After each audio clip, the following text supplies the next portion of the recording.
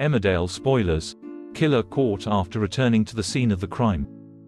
Kim Tate's horse Ice was found by Will Taylor in Friday's episode of Emmerdale after he ended up being responsible for Craig Reed's death. What a nightmare.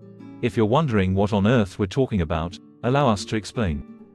Last night, when the truth about Craig's murder was revealed, we learnt the Dingles actually had nothing to do with it, as an incident involving Kim's horse actually led to him dying.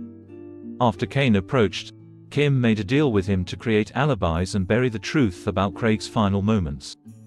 At the paddock, Kim was emotional as she realized she had to let Ice disappear, if not he'd stir up trouble. In Friday's episode of the ITV soap, Eric was seen walking his dog in the village. Just outside the pub, Eric was surprised when he realized Ice was sniffing around some empty bottles. Eric got his phone and went to call Kim, but Will then arrived, hooked a lead onto the rain and led him back home.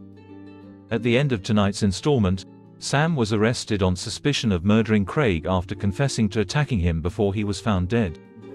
With only Cain and Kim aware of the truth, our main takeaway from this. Ice's neighbors need to watch their backs. Xin chào các bạn đã quay trở lại với UK Soát Spoiler. Vừa rồi các bạn đã theo dõi một sản phẩm của chúng tôi.